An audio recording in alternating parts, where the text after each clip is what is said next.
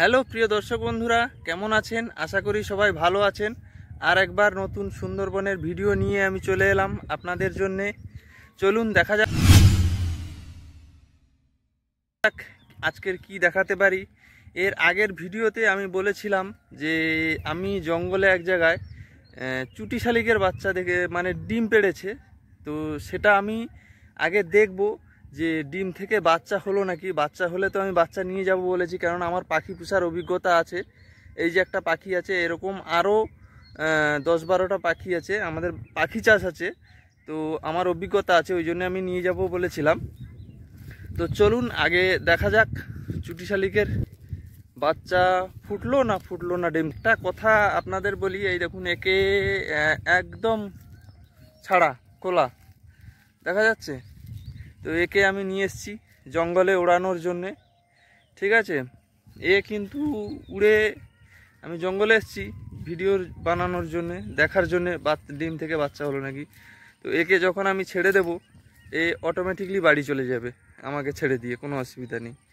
অথবা আমি যতক্ষণ থাকব, আমার সাথে থাকবে, উড়বে, গাছে বসবে হ্যাঁ বিভিন্ন রকম করবে। একে নিয়ে কোনো সমস্যা নেই। এতটাই পোষা হয়ে গেছে আমার। দেখতে পাচ্ছেন? চলুন দেখা যাক পাখির ডিম। আরও একটা জিনিস দেখাই আপনাদের বন্ধুরা, দেখুন। এই যে দেখুন, বাংলাদেশের মালবাহী জাহাজ আমাদের ইন্ডিয়া থেকে যাচ্ছে, বাংলাদেশের দিকে যাচ্ছে, এইদিকে বাংলাদেশের দিকে যেতে হয়। এই যে মাল ভর্তি করে নিয়ে যাচ্ছে। তো বন্ধুরা, আমি এই গাছটার কাছে চলে এসেছি। এই যে সেই বড় গাছটা, যেখানে শালিক পাখিটা ওই যে উড়ে চলে যাচ্ছে, এই যে এই যে এই যে উড়ে গেছে শালিক পাখিটা বাসা থেকে। আমার কথা শুনে।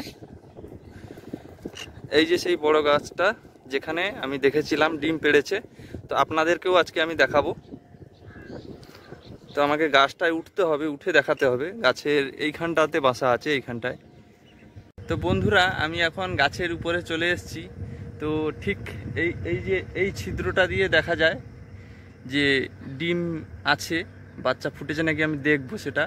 তো আপনাদের দেখা এই ছিদ্রটা দিয়ে দেখলে বুঝতে পারব বাচ্চা হয়েছে নাকি।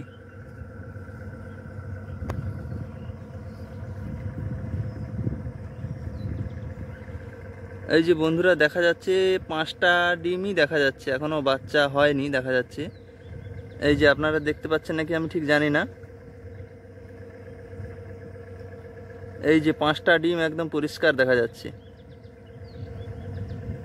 তো বন্ধুরা, ভিডিওটা যদি ভালো লেগে থাকে like comment share and subscribe করে রাখবেন।